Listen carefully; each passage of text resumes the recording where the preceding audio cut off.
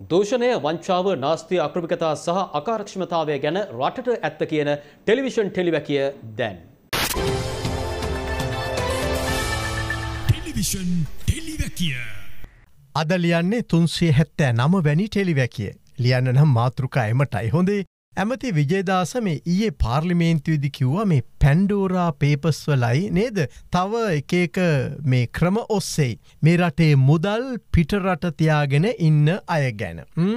සහන කාලයක් දෙනවා නැත්නම් නම් ටික පවා හෙළි කරනවා කියලා. ඔන්න කතාව එලියටාව ඇ පෞගේ කාලෙ තිබුණා පැනමා පේපස් කියල එකක්. එතකොට මේ පැනමා පේපස්වලට මොකද වනේ සමයින පැන්ඩෝර පේපස් පැනමසා පැන්ඩෝර දෙකම තියෙනවා දැම්මතන. ඩොලර් බිලියන නමයක විතර මුදලක් ලංකාව පුරවශය විදේශී රටවල්ල හංගගෙන ඉන්නවා. මම යෝජනා කරනවා මේ නීතිරෝධී විදියට පිට රටවල්ල තියාගෙනන්න සල්ලි මේ ලංකාවට ගේන්න කියන්න අපි මාසයක් නැත්තන් දෙකක් දෙනවා. පොදු සමාවක් දෙන්න. මේ සල්ලි ලංකාවට ගේන්ඩ. ඒ සීමාව තුළ මේ සල්ලි ලංකාවට ගේන්නේ නැත්තං අපිට තියෙන ලයිස්තුමන් ඉදිරිපත් කරන්න මේ පාර්ලිමෙන්තුවට සමහර ඇමතුරුන්ගේ ලේකංලත් ඉන්නවා ඩොලර් මිලියන එකසිය පනහට වැඩි තියෙනවා කියල වාර්තාාවෙන. විජේදාස ඇමතිගේ කතාව හරියටම මීට පෙර අපි ලියපු ටෙලිවැකි කිහිපයක් වගේ තමා.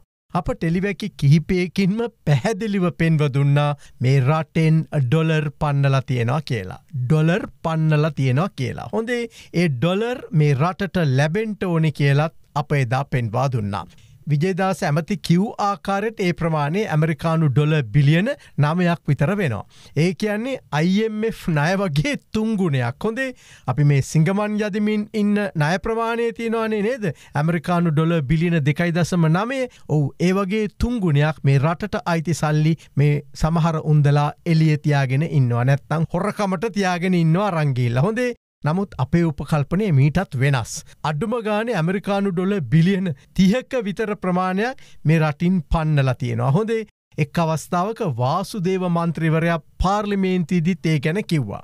දැ අපට මතකයිනේ නේද අර තිරුණඩේෂන්ලගේ පැන්ඩෝරා කතාව නේද පැන්ඩෝරා පේපස් සහ තිරුණඩේෂන්ල එදා ඒ ගණු දෙනුව එලියට ආපුහම මොකද වනේ කියලත් මතකද තිරූ කියන්නේ නිරූපමා රාජපක්ෂගේ ස්වාමි පුරුෂය.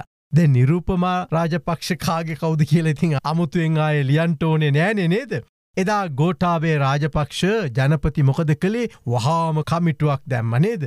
අද වෙනකං ඔය කමිටියෝට වෙච්චි දෙෙකුත් නෑ පැන්ඩෝරා පේපසල්ට වෙච්චි දෙයකුත් නෑ හොඳේ මේ ජනාධිපතිලා මේ විදායක ජනාධිපතිලා ඔය මේ කමිට්ටු කොමිෂන් ඕ දාන්ට මාර රුසියෝ හොඳේ මේ සමහර මේ කමිටු සමහර කොමිෂන් හරියට හොරාගේ අම්මගෙන් පේන අහනවා වගේ වැඩක්ම තමයි. හොඳේ බැඳුම් කර වංචාව ගැන හොයන්න එදා අගමැතිව සිටි රනිල් වික්‍රමසිංහ මේ නීතිඥතුන් කටුවත් දැම්ම කියලත් අපට නිකං මතකයි. හොඳේ ඇත්තටම මේ ජනාධිපතිලා පත් කළ මේ කොමිෂන් ගැන හොයන්ට තව කමිටුවත් දාන්ට ඕනි. ඇ මේ වගේ පත් කළ කමිටුවලට කොමිෂන් බලට මොන තරම් මුදලක් වැෑ කරලා තියෙනවාද කියලා ඇත්තටම දැනගන්ට මේ රටේ රටවැසියන්ට පුරවැසියන්ට අයිතියක් තියෙනවා. හොඳේ විශේෂන් මේ ජනාධිපති කොමිටි ජනාධිපති කමිෂන් වලින් ඇත්තටම වනේ ප්‍රශ්න ටික කාලයක් යටගහගෙන ඉන්න එක.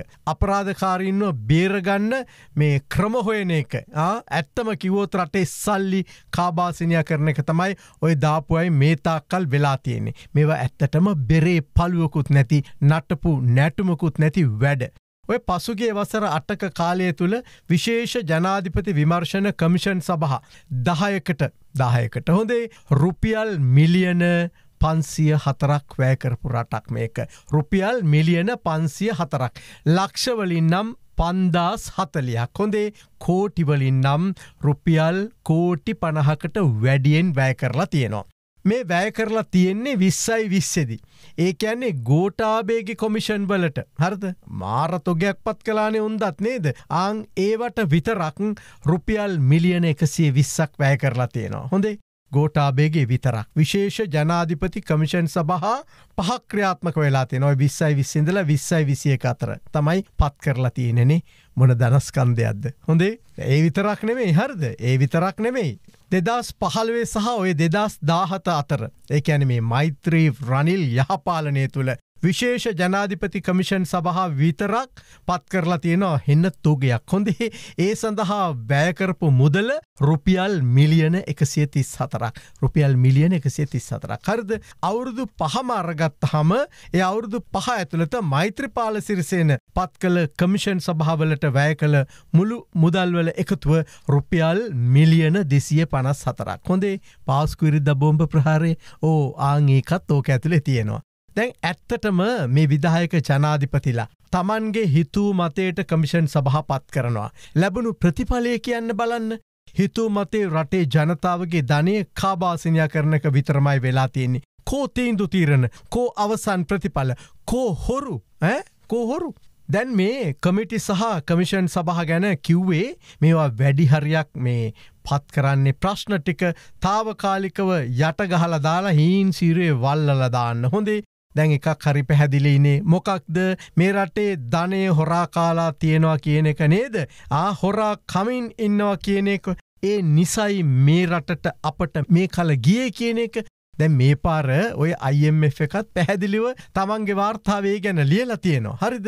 නමුත් අවාසනාව කියන්නේ මේ රටේ තාම ඉන්නවා. මේ රටේ තාම ඉන්නවා දේශපාලන ශාක්ෂරතාවේ එකන්නේ මේ පක්ෂ ගහන ගේම් මේ උන්දල ගහන ගේම් කියවගන්ට බැරි. හර්ද? බින්දුවටම වැටනු සෙට් එකක්.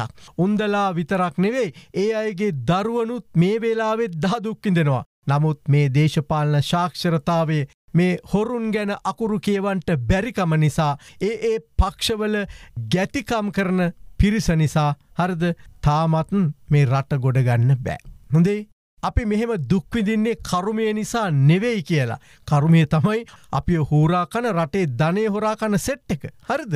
එහෙම සෙට්ටකට බලයදීම ඒක තමයි කරුමය කියලා තේරුම් ගන්ට බැරි පිරිසක් මේ රටේ තාම ඉන්න. හරිද ඒකන මේ හොරු මේතරම් හොඳට රජ කරන්නේ එකම එක උදාහරණයක් දෙන්නද? මතකද පහුගේ දවස්වල මේ නාමල්ගේ වෙඩිම?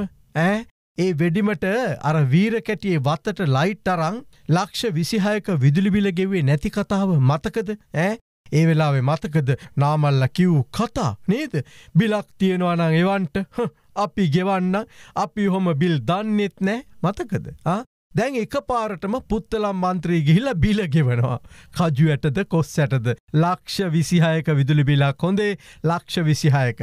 එයාට මේ මහින්ද මහත්තයා ගැන හරියට දුක හිතුනලු ඒ නම කියන එක ගැන දුකයිලු මේ වගේ පොඩිගානක් එක්ක.